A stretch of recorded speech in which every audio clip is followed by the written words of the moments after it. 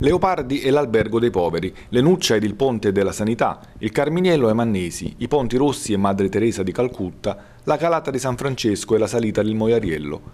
Questi ed altri luoghi di Napoli più e meno noti fanno parte dell'agenda GESCO, giunta quest'anno all'undicesima edizione. Stavolta l'idea è quella di raccontare una città meno visibile e scoprire la bellezza che a Napoli si trova ovunque, non solo nei luoghi più celebrati, attraverso lo sguardo di scrittori e fotografi. La cultura è anche sociale che il sociale è anche cultura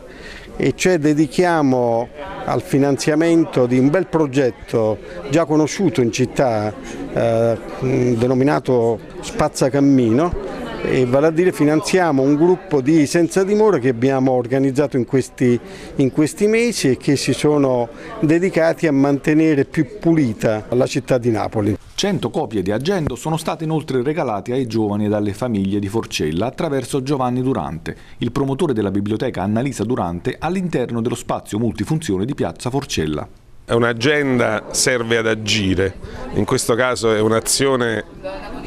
creativa e solidale che ha come ispirazione e anche come esito finale la città ed arricchirla ulteriormente soprattutto sensibilizzando e acuendo la coscienza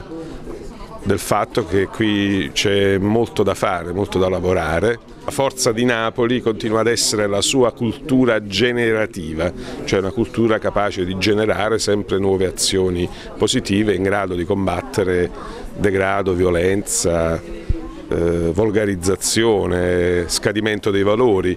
eh, perché Napoli è una grande metropoli e vive dei grandi conflitti ideali e culturali che attraversano la modernità e il nostro mondo contemporaneo. Eh, però proprio per la sua originalità, per le sue vocazioni, per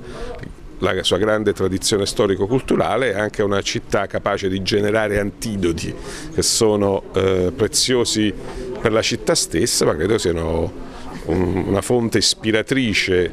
di pensiero e di arte per un valore e un rilievo assolutamente universali.